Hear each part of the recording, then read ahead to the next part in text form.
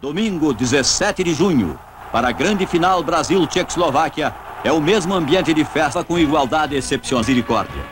Uma conquista sua segunda Copa do Mundo. Sem dúvida, com menos garra do que quatro anos antes, mas ainda uma realidade. Em todo caso, com oito dos vencedores de 1900, Pelé já sonhava com 1966 na Inglaterra.